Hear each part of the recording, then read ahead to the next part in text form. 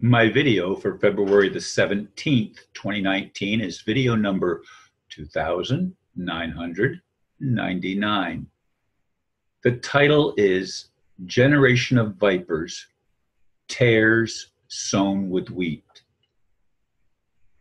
As I see it, those who are not a bit confused by what seems to be happening in the world must have their heads in the sand if the Bible is to believe to be believed at all, we will see that Jesus warned us that the Pharisees were a generation of vipers, offspring of the devil. These were the tares sown in with the wheat, and they are supposed to be left alone until harvest time.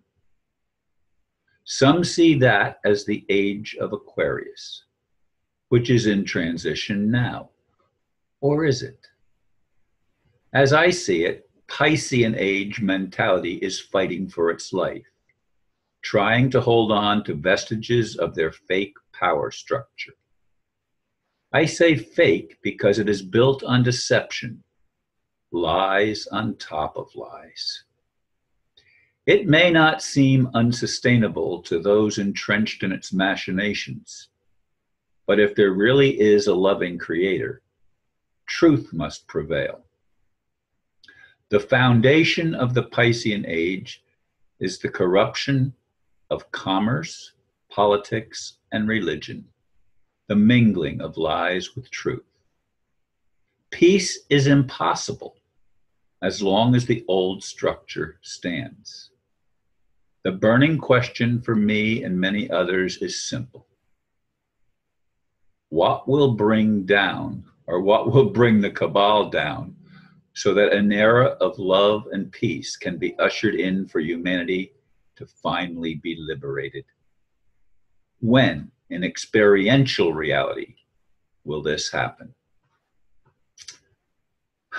yes, I I continue to struggle with this as many others do. And I try my best not to put my head in the sand, as it seems like many do. Many still are convinced that the Bible is an un, the unadulterated Word of God. And yet, Jesus himself warned us that there would be lies coming forth. Now, the Pharisees were the literalists the fundamentalists of the Jewish thing, and that and the fundamentalists were the problem. I know fundamentalist Christians aren't going to like that, but that they were the problem. And when the uh, when this warring tribe from uh, southwest Russia or the area, southwest Soviet Union, whatever you want to call it, that area they were given the choice. They were a warlike tribe and they were given a choice either become Muslims or Christians because that was that they were the two warring factions. They imported the Pharisees and became Ashkenazi Jews. In other words, they were Jews by uh, assimilation or whatever you want to call it, but they were not born Israel. They, they had no connection whatsoever to Israel. And the majority of the Jewish population on the planet are Ashkenazi Jews, not Sephardic Jews or Sephardic Jews. This is something that most people don't understand. And that's why the nation of Israel is an anathema. It was not supposed to come back till Shiloh comes. And of course, when Shiloh comes, there will be peace. There won't be war against the Muslims and, and the Arabs and, and all of the various factions that still exist in the Middle East and hmm, around the world.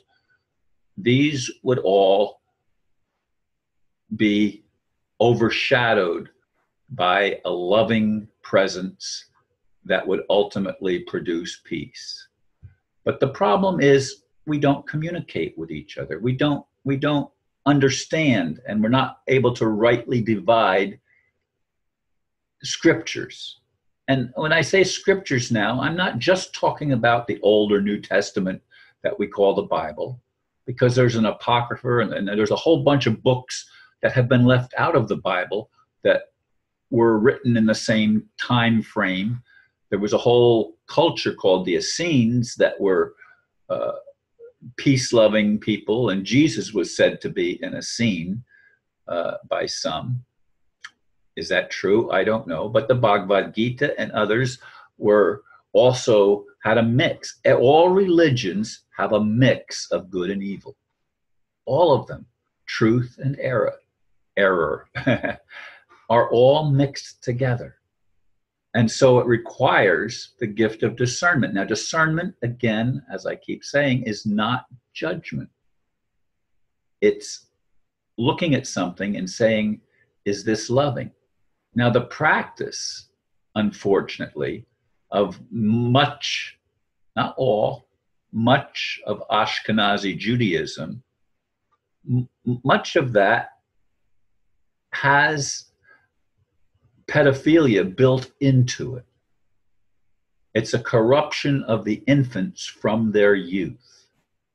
And this is a, an ancient practice that has been going on for a long time. Obviously, if it's ancient, it's been going on for a long time. And it's still going on.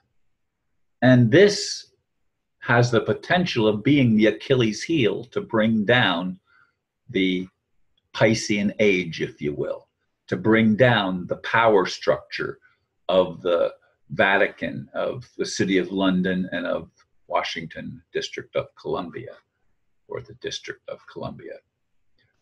These are the three city states that have created corruption in the in the spiritual communities, if you will, they have created corruption in the monetary system, and they have created corruption in the military system.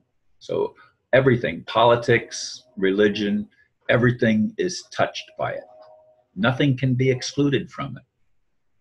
And it takes the gift of discerning of spirits. Is it loving to prey on innocent children? Is that loving? Do you consider it loving? If you do, I would suggest that you need to open your eyes. Now, many of the elite establishment, well, I can't say many, but at least some in the elite establishment seem to be waking up and coming to repentance. There are uh, Jewish rabbis that have uh, turned completely around. And there are people in Israel that are trying to stop the slaughter of the Palestinians and, and bring equal rights to everybody. But there are others that are completely on the other side and want to maintain the illusory power structure. And I say illusory because, again, it's built on falsehoods. And falsehoods cannot ultimately prevail, even though they seem to have prevailed for such a very long time in human history. I mean, two millennia, some say that's what it's approximately, each, each age is approximately two millennia in length. And that's a long, long time. That's many generations when the average lifespan, say, is 70 years uh, of age. Now we know that some live longer and some live shorter. That's the average. And we are in the process, it seems sometimes to me to be waking up. And yet at other times I look at things and I think, are we waking up at all? Because it seems so insane to me. And I want to see the harvest of souls.